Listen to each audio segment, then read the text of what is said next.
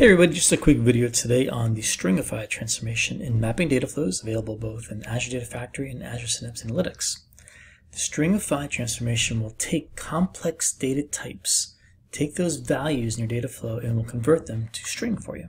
And let's jump into a quick example. On the design surface, I have a source that is a REST API. Let's take a look at that. It is going to be pulling weather data. So I'm going out to api.weather.gov and when I do that, and I send a request for data, this is what I get back. I get back a body, which is a structure with a bunch of other properties that are also complex data types inside of it. What I really want to do is I want to get at the weather forecast found inside the properties structure inside the body in the periods array. So actually I just want, I'm just going to take the entire periods array and turn that into a string so I can then take that string, store into a CSV file, so I can send that weather data as a flat file output because in CSV I can't really store complex or, or maintain that fidelity of a complex data type. So the super simple way to go is to click on the plus sign after that um, REST API source and to pick Stringify. Stringify you'll find down here under formatters.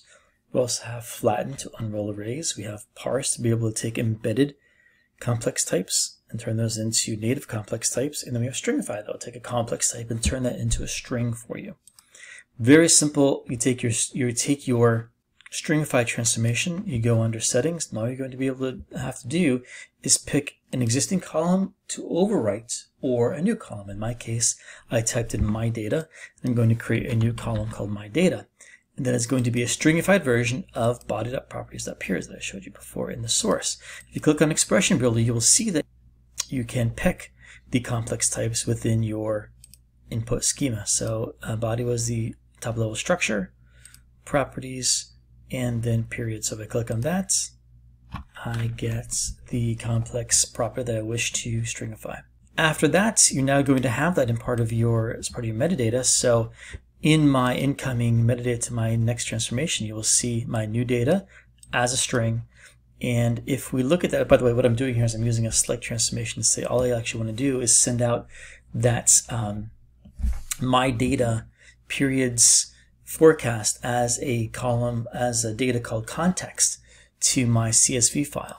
So in that CSV file, I just keep the mapping as auto mapping. I get just that one context column. And if I look at data preview on that, you'll see the stringified version of the forecast complex data. And there it is as a plain string. And that's it. That's all you have to do to use Stringify. Thanks for watching.